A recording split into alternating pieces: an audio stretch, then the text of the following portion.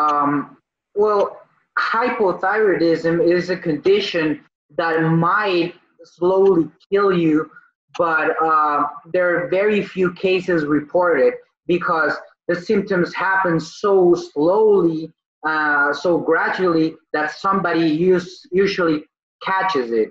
The thing with hyperthyroidism is that sometimes you're not able to detect it as fast.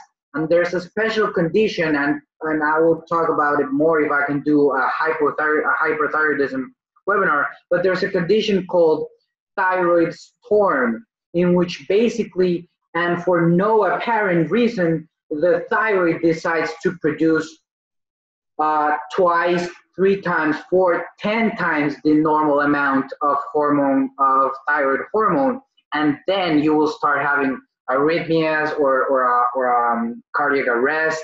You will have um, something similar to fever, but it's called hyperthermia. You will have um, basically everything in your body will shut down because the metabolism is so fast that uh, it might kill you and it's dangerous. It's an emergency, basically. So, in a certain way, hyperthyroidism is more uh, dangerous than hypothyroidism, yes. Yeah.